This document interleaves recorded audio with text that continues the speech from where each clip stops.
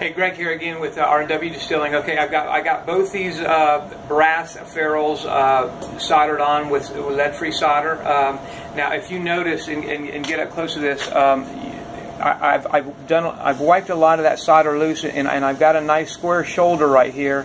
But I do have some remnant of, uh, of, of, silver solder that I don't like on there, and I want to get rid of that. And, and typically, the way I do that is I'll bring it over to my uh, my blade sander and, and I'll just uh, take that and I'll just run it on the edge and, and, and get rid of that debris and, and I'll show you what that looks like in, in a sec.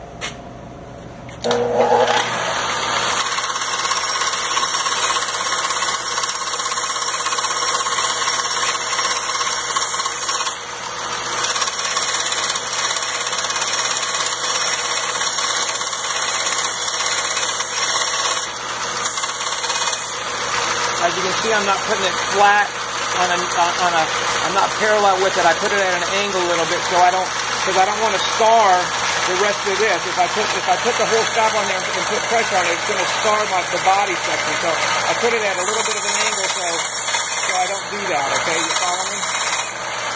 I'm just getting rid of all that excess material, okay?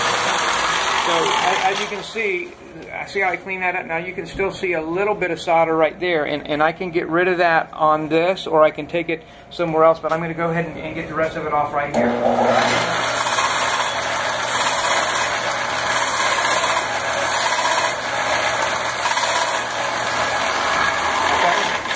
So, so that's basically how I take care of it, get rid of the solder. Now, I mean, this thing still needs to, to, to, be cleaned quite a bit. So typically, what I'll do is I'll take it over to my grinder. I've got a um, I've got a wire wheel over there. That's a, it's called it's a fine wire wheel, and, and I'll and I'll clean all this this thing up and take care of all that. And I've already done that with this piece here, so guys can kind of see how it looks to kind of save a little bit of time.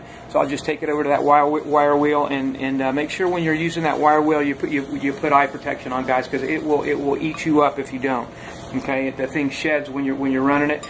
But basically, that's what this looks like when it's all cleaned up on that wire wheel and buffed out.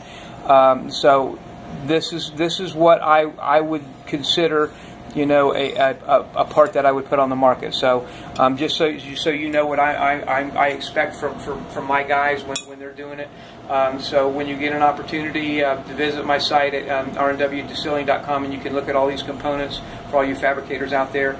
Um, anyway, look, look for my next video and what I'll end up doing is, is show you how I actually put the, uh, the two inch sight glass um, on this and actually fabricate that section for, for that installation. So uh, look for me on my next video. And again, thanks, thanks for watching.